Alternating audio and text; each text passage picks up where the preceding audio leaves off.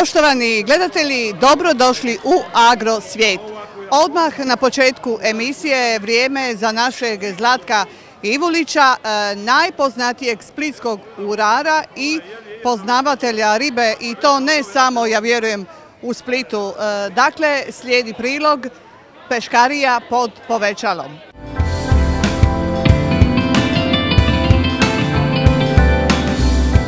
Peti mjesec je mjesec plave ribe. Sad je srdela najbolja, sad se i soli, samo kad neko dođe kupiti tu plavu ribu. Ako mu je za solenje, ne smije biti šokirana. Znači mora zna prodavača ili vlasnike da pita da nije poleđena. Ako tu stavi soli, to se pokvari.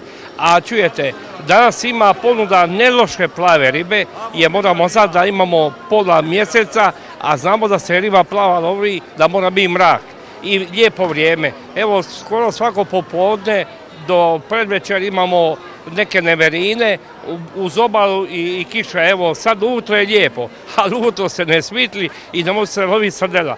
E, šta me raduje, ima je godinu dana nismo vidjeli skušu, zaboravili smo je. Sad se pojavila, sad je malo cijena visoka 100 kuna. 100 kuna. A srdela se može naći? 20 pa i sad će biti, ja mislim 15. Jedno jutro se inčun 30, to me malo čudi da ga nisu načili sa srdelom, ali šta, inčun se nekako traži, to je kao ono malo luksus ili tuna koja je ove dane imala cijenu čak 120 kuna to je malo previše. Mi imamo gopa za 100 kuna, to je zubatac, znači kad bi neko htio, preporučio bi da jede gopa na pete. Evo, e, svaki put e, nešto zanimljivo ti nama otkriješ. E, nedavno su ti ribari ostavili još jedan vrlo zanimljiv primjerak. Kažeš da se radi o morskom pužu. Je, ja ću doznat to ime jer imam ja brojeve pa ću nazvati institut. Ja sam u to smislio da me neko zesa.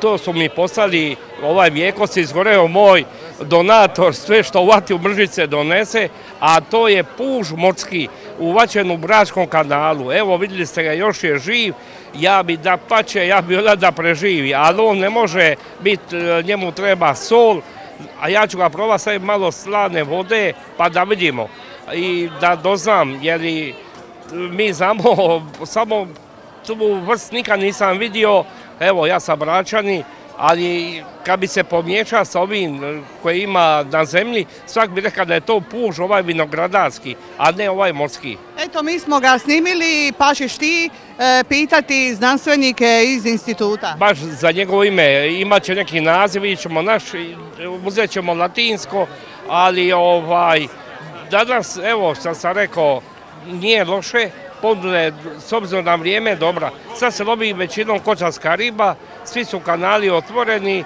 i ribe ima ha, za svaki čep, ali prodaja ne je baš najbolje, ljudi su ograničeni. E, znate šta, e, došao je kraj mjeseca i sad su ti takuini, naši novčanici tanki. Ove e, nepovoljne prilike utječu zapravo i na život općenito i na ulov ribe. Što ti kažeš za ove promjene? Jesu li možda ljudi krivi svojim ponašanjem, dakle loše gospodarenje, stare tehnologije? Pa je, čujete, more se devastiralo. Mi, ovaj, pogotovo bi morali, koji žive od mora, ja sam rekao da se svaku godinu bilo je da se tam nađ što se kaže, lubina komače pušta, jer lako je samo uzimat, ali ako ti, onaj mora posija šenicu da bi žanja, ali ne znam, to će sino, ako dođemo u Europu i to će se izmijeniti. Kao što je rekao naš Zlatko, moramo se svi potruditi čuvati naše more, čuvati našu prirodu i koristiti više obnovljive izvore energije. Ovo je najava za našu drugu priču. Dakle, slijedi nastavak o konferenciji koja je nedavno bila u Splitu, a zove se Obnovljivi izvori energije, nove tehnologije, izazovi 21. stoljeća. Ovaj put govorimo o zelenom turizmu.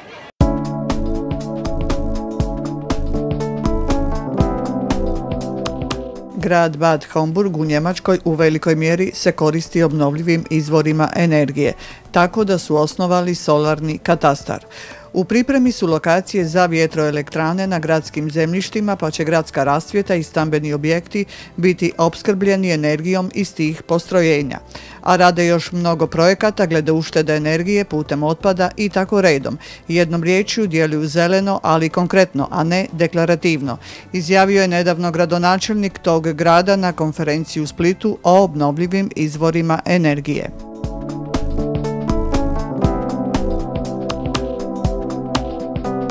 Zbog klime sunčanih sati i svoje netaknutosti i Hrvatska ima svoje predispozicije za alternativnu energiju, pa je moramo početi implementirati u svim područjima s naglaskom na turizam, koji je uz poljoprivredu naša budućnost i treba nam ozbiljna strategija o razvoju tih grana na temelju obnovljivih izvora energije, izjavila je Mladenka Srdarević-Dabac, znanstvenica koja svoje znanje primjenjuje direktno kroz projekte djelujući u Njemačkoj i Hrvatskoj. Ako bi rekli šta je to zeleno o kojemu e, posljednje vrijeme toliko puno slušamo i možda je čak i na neki način i previše ga se upotrebljava, onda bi možda trebalo reći da je to pokušaj u novom mileniju življenja u skladu sa gospodarstvom, ali i sa prirodom. To znači da u ovim predavanjima koje ja interdisciplinarno držim, jer sam ishodišno arhitekt i opet bi bila arhitekt u drugom životu ako ga ima, je definitivno sljedeća poruka.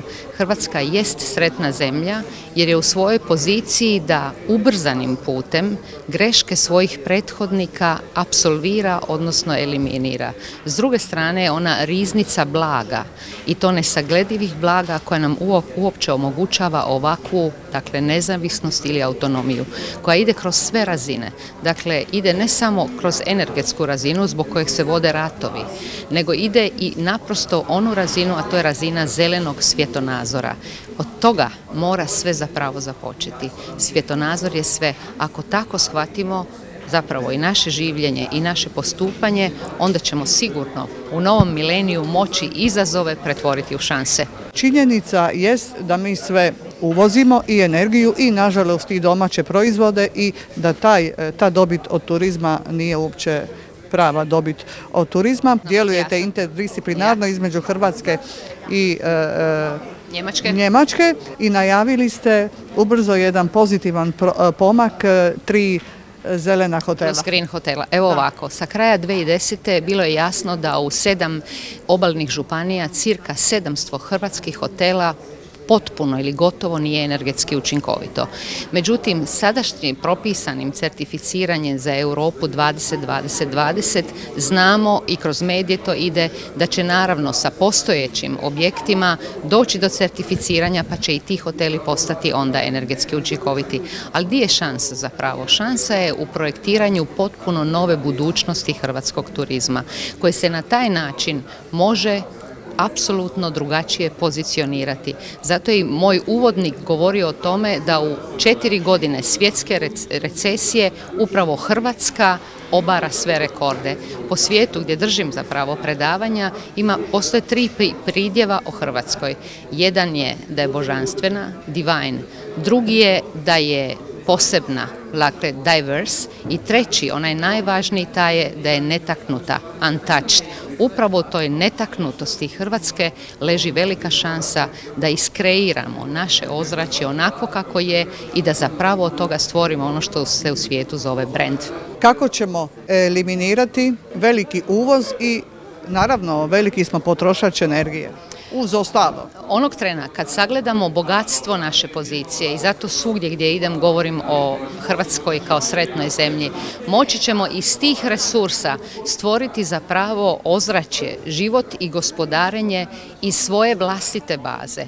Ako ta baza je stabilna, a ona se temelji na svjetonazoru i obrazovanju, onda će ona i eliminirati činjenicu da uvozimo pekmez od šljiva koje leže na našim oranicama. Thank you for being here in Split. I was here in the middle of the 80s as a tourist guide for Scandinavian tourists working in Istrian Zahvalna sam što sam ovdje. Bila sam kod vas sredinom 80-ih kao turistički vodič za skandinavske goste radeći u Istri. Presretna sam jer u zadnje četiri godine radimo naporno glede implementiranja zelenih tehnologija u Hrvatsku, a uobičajene želimo smanjiti, dakle smanjiti emisiju ugljičnog dioksida. Drago mi je vidjeti da je ova konferencija zauzela inicijativu koja će potaknuti provedbu jer se na takav način stvari pokreću. Ljudi moraju postati senzibilni na ovu temu i poruka mora biti poslana javnosti o čemu se mora raspravljati. Kako mi možemo pomoći? Primarno je vjerovati u zajednički rad s ljudima lokalne zajednice i učiti jedni od drugih. Mi imamo ovdje veliki potencijal kojeg možemo koristiti i za arhitekturu. To je održivi razvoj.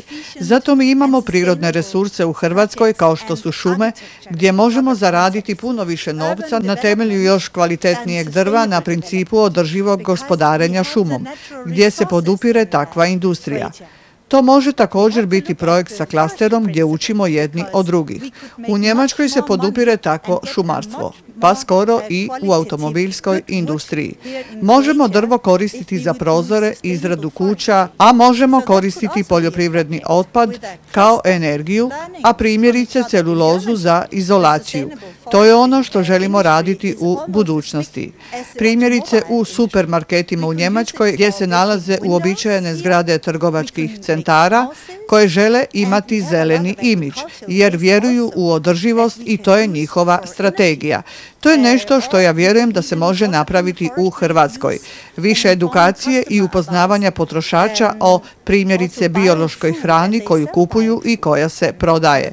Naš posao je pokrenuti, osmisliti takav koncept za naše klijente koji žele surađivati kao što su hoteli, ali to mogu biti i gradovi, jer zeleni marketing gradova jest važan zato što je blizak povezan sa zelenim turizmom, odnosno održivim turizmom, što je i hrvatski put. Mi ga želimo razvijati i to možemo istovremeno koristeći lokalne resurse koji su tu pred nama. Samo ih treba koristiti, kao što je sunce, jer se pomoću njega može možemo grijati, ali i hladiti. It is lying just in front of us, all over. And we have, it, we have the sun. And you know, we can not only heat with the sun, we can even cool with the sun. Valamar Grupa kao vodeća turistička grupacija u Hrvatskoj sa kampovima, hotelima te apartmanskim naseljima, čiji ukupni kapaciteti mogu ugostiti svakodnevno 40 tisuća turista, želi ulagati, odnosno stvarati prepoznatljivost temeljem implementacije obnovljivih izvora energije u svoj turistički proizvod. No investicije su malo na čekanju, kažu, ne zbog regulative, nego administracije. Sam problem da je nejasnost e, administracijske prepreke i, i e, možda neke, neke putevi koje treba otvarati, onda smo spremni uložiti teško. Da. Recite koliko ulažete zapravo svake godine u poslovanje? Općenito, ne samo u izvore energije. Valama u roku od sedam godina uložio 1,3 milijarda kuna od toga e, u roku, isto u roku manje od 15 milijuna kuna u energiju, uštedne energije. U ovom trenutku naše ulaganje je više od 100 milijuna godišnji. Mi smo spremni odmah veliki dio ovoga uložiti u, u, uštedu. U uštedu energije, poglavnom najprije u uštedu, uštedu da. Ako mi, na primjer, stavimo nove staklene e, elemente u naše hotelske sobe, onda surađivamo sa hrvatskim proizvođačima i onda samo drugi korak je da pogledamo panele i, i druga rješenja iz inozemstva. Mi se nalazimo u veoma šizofrenoj situaciji situaciji i kao društvo i kao vlada Republike Hrvatske. Dakle, postoji jedan dio vlade Republike Hrvatske koji ozbiljno vjeruje u obnovljive izvore energije, koji ozbiljno radi tim projektima i postoji drugi dio vlade Republike Hrvatske koji radi ozbiljno na diverziji ovih prvih.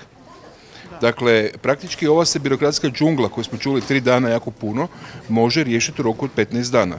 Dokumenti su napisani, oni postoje. Postoje pravilnici? Postoje novi pravilnici, postoje neke nove mjere, Postoje neke nove prakse koje se misle uvesti, veoma skoro do jeseni najkasnije, ali postoje ozbiljni ljudi koji su jako moćni, kojima to smeta. Jer ako ide Hrvatska obnovljiva, neće biti recimo Plomina 3. Neće biti Omble. Da opet dolazimo do politike. dolazimo do sukoba javnog i privatnog interesa i dolazimo do sukoba percepcija. Da li Hrvatska treba biti obnoljiva ili Hrvatska treba biti neoliberalna, ukratko.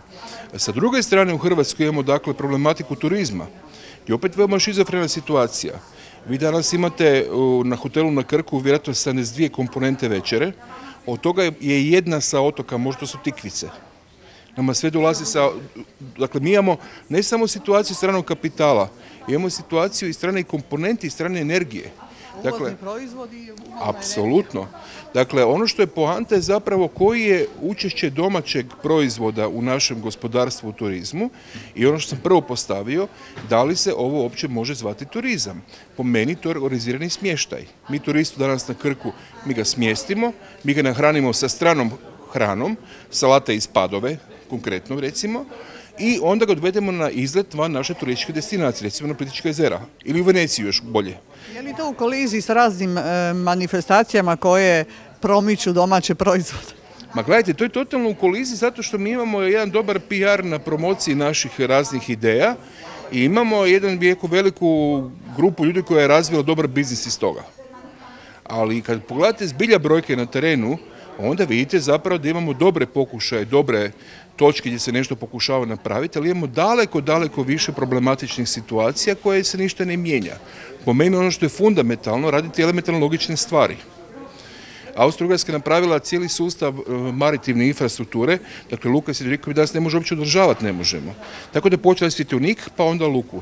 Počela je sa Vudri prije 1818. godine konkretno. Ne? Dakle, mi moramo raditi male logične stvari kao povećati recimo udio domaće hrane u turističkom proizvodu, kao recimo povećati udio obnovljive domaće energije u turističkom proizvodu, umjesto da pričamo, pričamo, pričamo, radimo prvenstveno iste gluposti, već 50 godina. Vidjeli smo ovdje pozitivan primjer. U Bad Horfu u Njemačkoj.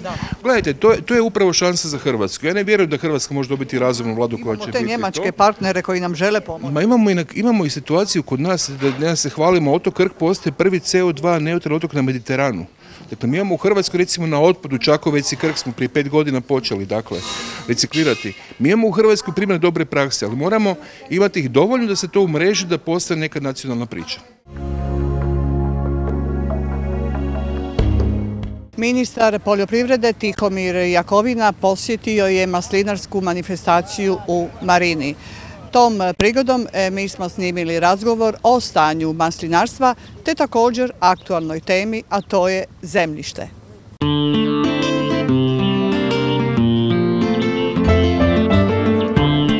Kakvo je po vama stanje u maslinarstvu? Maslinarstvo, vrlo važan sektor moga, moga odnosno našeg agrara i hrvatske poljoprivrede i nešto što na neki način zahtjeva i puno bolju i puno veću pažnju svih nas. Kada govorimo o brojkama 17.200 hektara, zvuči relativno velika površina, ali znamo za rascjepkanost i neusređenost zemljišno knjižnog stanja u Republici Hrvatskoj i problemi s kojima, koji imaju proizvođači oko mogućnosti da dođu do, do zemljišta na kojem će zasaditi nove nasade ili revitalizirati postojeće i staviti ih u kvalitetniju proizvodnju, tako da ima dosta stvari koje su, koje su otvorene, u kojima ima prostora za napredak. Sama proizvodnja uvijek može biti bolja, može biti e, veća, da li možemo biti zadovoljni sa 7000 tona potrošnje, od čega je samo 5000 tona uh, naše maslinovo ulje, 2000 tona iz uvoza. Moramo imati puno kvalitetnije, prije svega udruživanje samih proizvođača, da bi mogli napraviti i standardizaciju kvalitete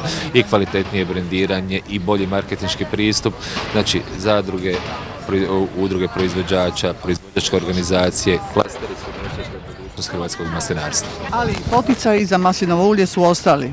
Poticaji za maslinovo ulje su ostali uz izravno plaćanja, a i tu znamo da, mislim da je natječaj trenutno u tijeku ovaj, za e, Isplata je napravljena za prošlu godinu, govorimo na bazi 3 kune za djevičansko, 7 kuna za ekstra djevičansko ulje, e, maslinarstvo i znači maslinarstvo je prikazano i tome da smo na neki način i u ovom prelaznom periodu koji će biti do punog stupanja i, i pristupanja u Europsku i prolaska tog prijelaznog razdoblja smo posebno zaštitili uh, granu maslinarstva i tu sa 10 kuna po litri maslinovog ulja. Mislim da će biti jedan od motivirajućih elemenata čimbenika da što više naših postojećih maslina zaštitimo, maslinika zaštitimo, stavimo u funkciju, nešto od njih reorganiziramo kao i ostale dugogodišnje nasade na koje imamo pravo, znači stare zapuštene maslinike da, da obnovimo, da eventualno podmladimo i da tu proizvodnju dignemo na jedan zavidniji nivo.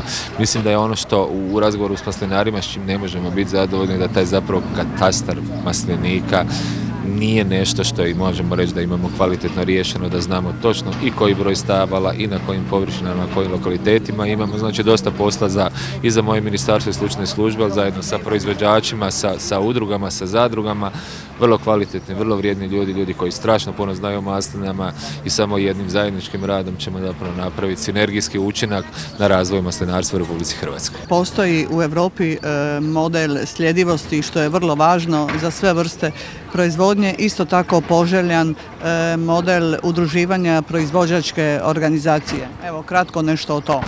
Pa pazite, vrlo važno ovaj, je naglasiti da trenutno i Europska unija traži novi model, odnosno i na vijeću ministara i na radnim skupinama vrlo intenzivno razgovaraju članice Europske unije, mi od uh, potpisivanja ugovora o pristupu imamo pravo i sudjelujemo na sjednicama, nemamo još pravo glasa još idućih 13-14 mjeseci, ali imamo pravo iznesti svoje stajalište i sudjelovati u raspravama, tako da na vijeću ministara vrlo aktivno smo uključeni i ja i zamjenica koji, koje, koji idemo na te sastanke u raspravama o izgledu i razvoju načinu funkcioniranja e, poljoprivrede u Europskoj uniji za period 2014-2020, odnosno zajedničkoj poljoprivrednoj politici i zajedničkoj ribarstvenoj politici. Mi se zalažemo za polazne e, odredbe onoga što smo imali u fazi pregovaranja da uđe na neki način i u taj budući dokument, znači određene povlastice koje imamo u fazi e, samog samih pregovora koji smo, koje smo definirali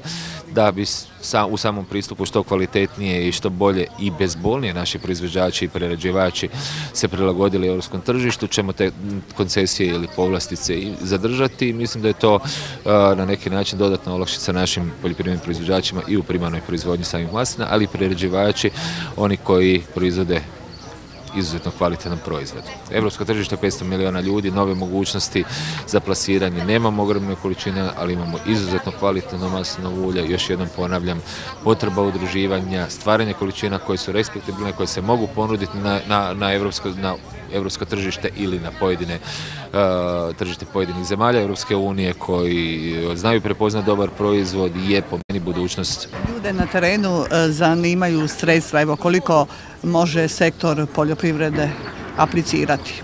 Pa mislim, ne samo što se maslinarstva tiče. Pa gledajte, mislim da smo, da smo tu to, točno izdefinirani. Znači i u prvom stupu za izravno plaćanje se zna koja su sredstva nam na raspolaganju. Govorimo nešto manje, malo manje od 400 milijuna eura na godišnjoj razini. U prvoj godini je to 200 25% sredstva iz Europske unije, ostalo ide iz e, nacionalne komponente. Svake godine se ovaj dio e, koji plaća Europska unija povećava, odnosno koji dolazi iz europskog proračuna, naš se domaći smanjuje. E, puno važniji i puno bitniji za mene je onaj drugi stup, stup za ruralni razvoj, gdje imamo na raspolaganju cirka 333 milijuna eura godišnje, isti omjer 25% iz proračuna Europske unije u prvoj godini i on se iz godine u godinu diže, ali za njega moramo imati projekte.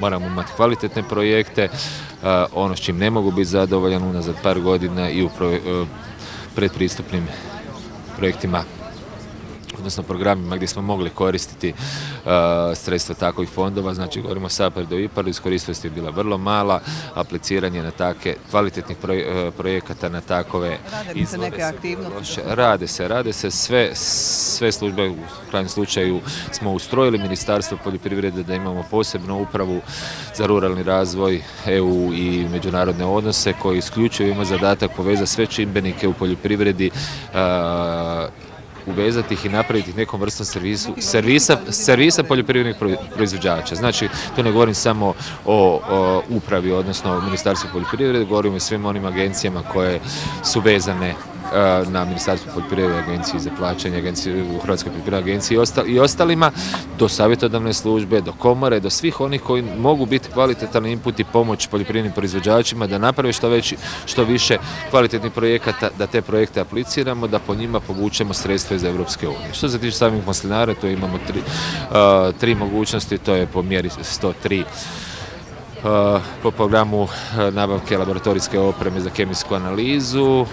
Mjera 103 je također sređivanje komine u proizvodnji humusa i mjera 101 je restrukturiranje, odnosno obnova dugogodišnjih nasada maslinika. Tako da su to tri mjere na kojima možemo aplicirati, treba ih iskoristiti i imamo ovu mogućnost zaštite znači izravnih plaćanja koja su po površini plus zaštita masline koju sam rekao 10 kuna. I ekološka proizvodnja. I treba naglasiti ako govorimo znači kod direktnih plaćanja, izravnih plaćanja, to je 2100 e, kuna po hektaru.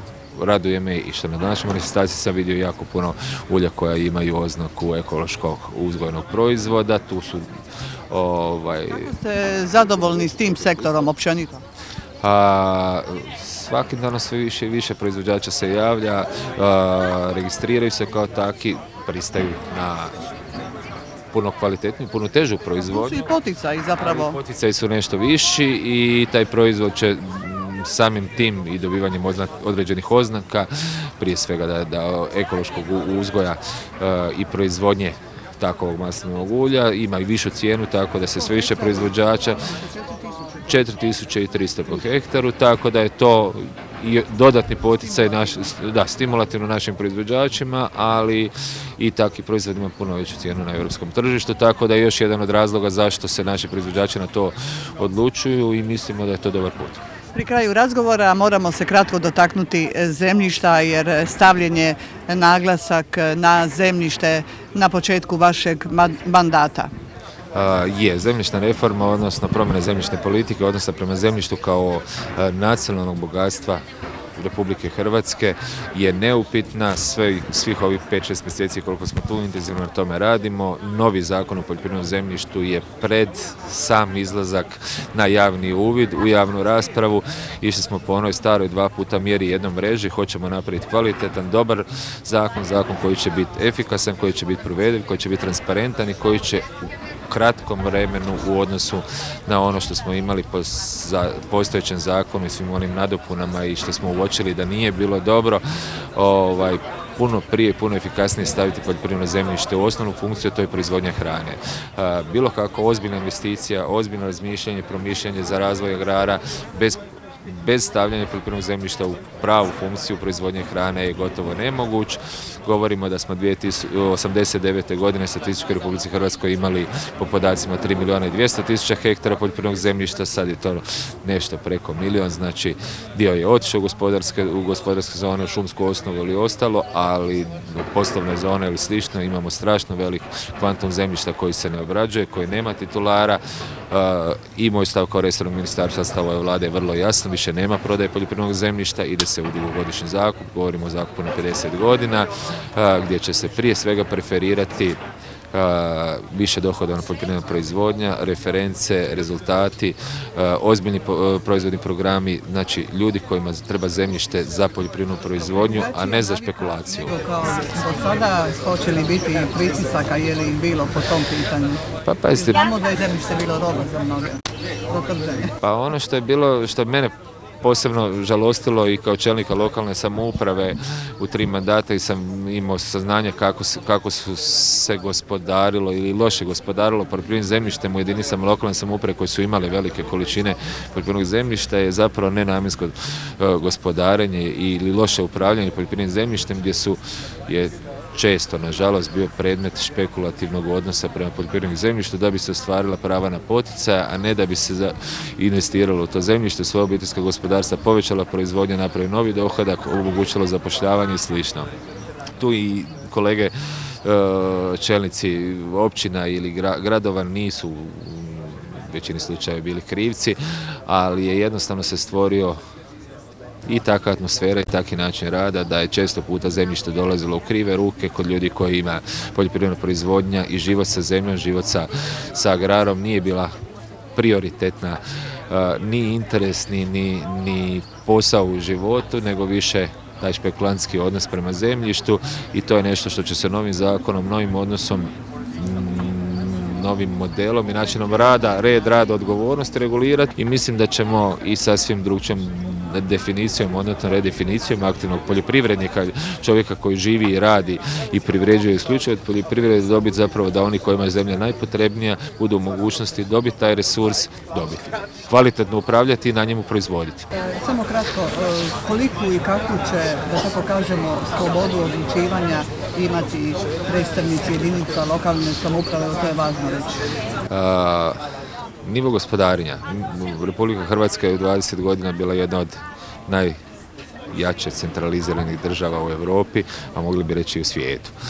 Eh, resurs raspolaganja poljoprivrednim zemljištem je nešto što nikad nije bio, smio, smio biti spušten na lokalnu razinu zato što uz dužno, uz dužno poštovanje i prema kolegama, bivšim kolegama, načelnicima općina, ali i gradonačelnicima, a pogotovo općina nismo imali ni ljudske, ni materijalne, ni tehničke resurse da bi kvalitetno provodili takav jedan sveobuhvatni projekt ili program raspolaganja poljoprivrednim zemljištem i zbog toga se često, ukoliko se još desi onda loša namjera ili gledanje kroz neke druge prizme interesa stranačkih regionalnih, plemenskih ili ne znam kakovih razno raznih interesa je dolazilo do niza nepravilnosti i loše gospodarenja. To je resurs i bogatstvo Republike Hrvatske kao i vode, kao i šume. Agencija za poljoprivredno zemljište će odgovorno, kvalitetno gospodariti.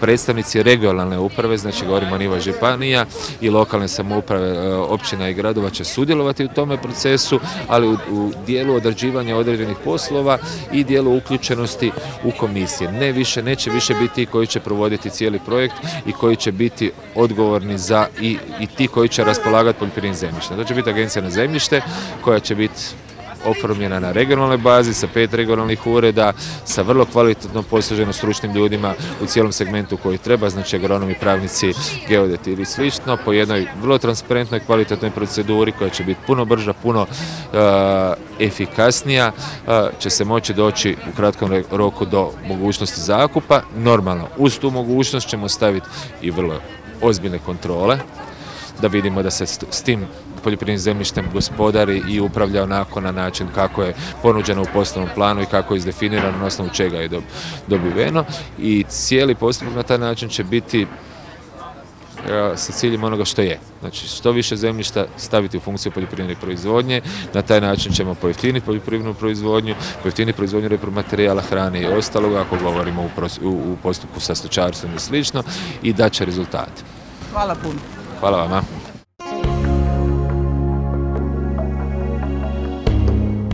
Maslinarstvo je naravno važno za Istru i Dalmaciju, no nije toliko esencijalno kao što je primjerice stočarstvo i voćarstvo za ukupnu hrvatsku poljoprivredu. Kolega Ivica Fodor bavi se lošim stanjem u voćarstvu zbog teške vegetacijske godine, a znamo da uroda gotovo da i nema. Domaći voćari traže strane partnere za ulaganja u tu granu poljoprivrede.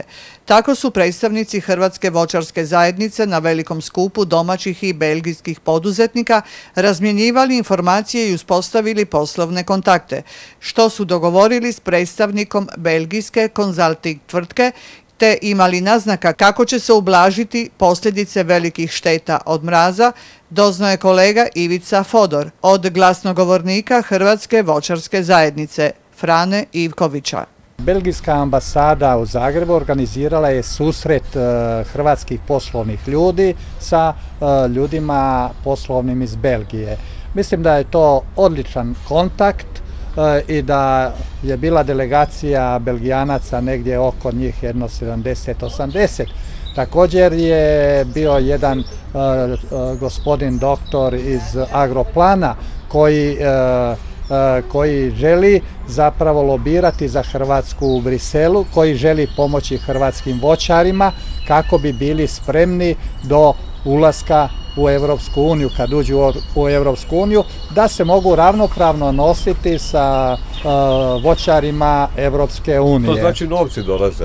pa najvjerojatnije će doći novci za pomoć, ne iz onoga paketa, nego novci iz drugih europskih fondova kako bi e, hrvatski voćari bili sposobni e, kad uđu u Europsku uniju. E, A ove godine što sada? Evo, bila je velika velike su štete od ove izmrzavanja. Što sada? Ovo je iz Belgije, tek bude ako bude. A ovo što A ovo što se tiče ove godine, to je, ja bih rekao, nije elementarna nepogoda, nego je to elementarna katastrofa za hrvatske voćare.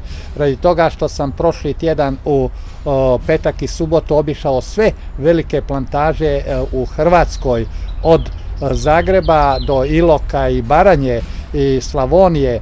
Mi smo upravo vidjeli na onim najvećim plantažama i najplantažama e, koje imaju kompletan ja bih rekao suvremenu tehnologiju, navodnjavanje, mreže i sustave za zaštite. To ništa nije funkcioniralo i 9. i 10. travnja je zapravo u fazi pune cvatnje su voćnjaci stradali. Po prvim procjenama smo mislili da će biti štete negdje oko 70 do 80%, međutim sada tvrdim da će štete biti na nekim voćnim vrstama i 100% kao što su trešnje, kao što su kruške, dok kod jabuka će biti šteta negdje po prilici oko 85%. Kako znači, ovako malo ublažiti te štete? Postoji li način? Pa zapravo ublažiti se ne mogu nikako. Ali barem ono pripremiti voćnjak za novi rod? Pa tek za sljedeću godinu. Znači mi moramo dodatno ulagati, moramo uložiti dodatna sredstva kako bi voćnjake osposobili za sljedeću tek godinu. Međutim, ublažiti može samo država jer voćari ne mogu nikako sami e, podnijeti tako velike gubitke i upravo radi toga mi tražimo od Hrvatske vlade, odnosno od Ministarstva poljoprivrede, da oslobodi e, plaćanja e, najamnine zemlje svim onim voćarima koji imaju u najmu državnu zemlju, e, da oni koji su digli kredite da smanji, smanji se kamatna stopa na 1 do 3%, čak s obzirom da ove godine neće biti subvencija otkupa mandarinki i jabuka, da iz toga fonda zapravo se pomogne plantažnim voćarima kako bi ti plantažni voćari mogli opstati i da ne dožive sudbinu da im banke sjedaju na hipoteku, to jeste na njihove kuće i na njihovu imovinu. Ukupne štete u hrvatskom voćarstvu od izmrzavanja početkom travnja procjenjuju se na oko 950 milijuna kuna, istaknuto je i na saboru Hrvatske voćarske zajednice. Ukoliko izostane pomoć države, 50% voćara napustit će voćarstvo, a voćari su već upozorili na to i obratili se Ministarstvu poljoprivrede.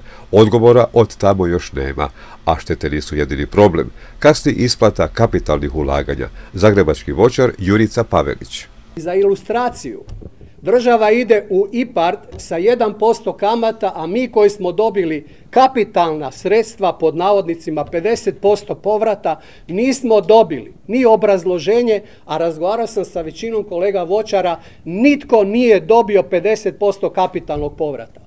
Zdravko Pokupić iz Virovitičko-Podravske županije smatra kako je iz kancelarije teško dobiti uvid u stanje na terenu. Poručuje djelatnicima ministarstva koji su zaduženi za voćarstvo da obiđu teren, a ako nemaju čizme, on će im kupiti.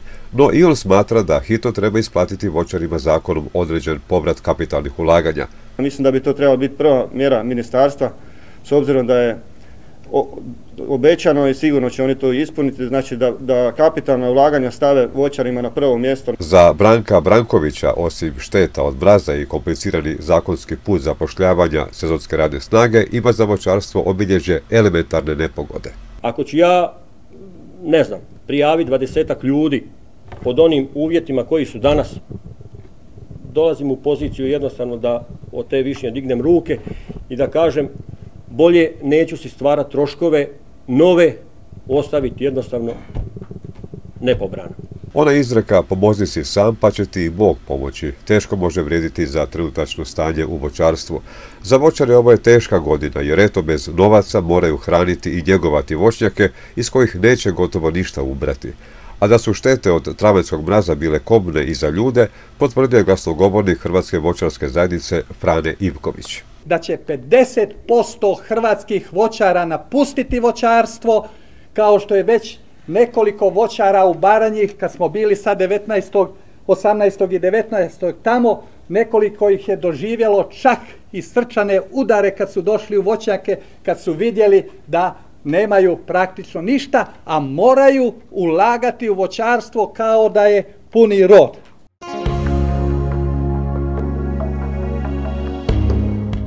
Krajem svibnja Ministarstvo poljoprivrede je održalo sastanak stručnog savjeta za praćenje stanja u proizvodnji i preradi mlijeka na kojem su se predstavnici proizvođača mlijeka i prerađivačke industrije dogovorili da model otkupne cijene mlijeka dogovoren 24. veljače ove godine ostaje na snazi do kraja rujna ove godine.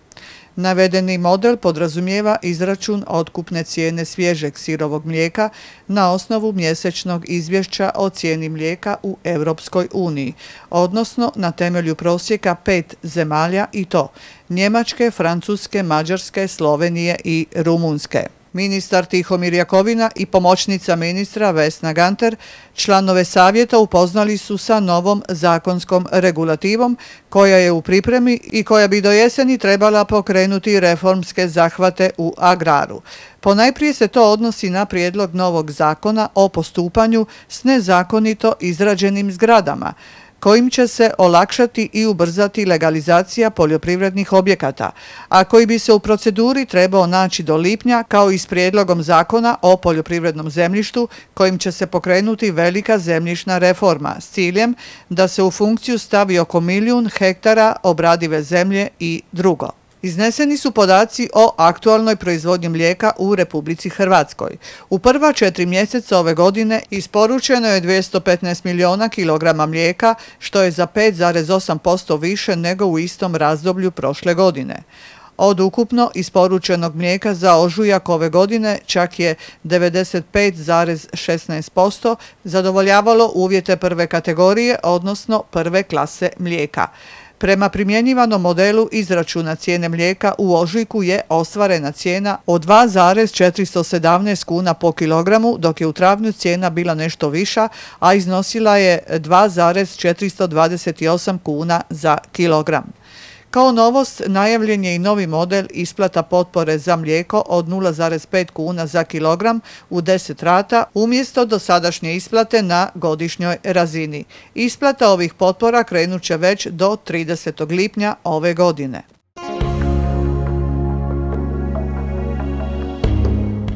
Poštovani gledatelji, do iduće emisije Lijep pozdrav ovdje sa Splitske Matejuške.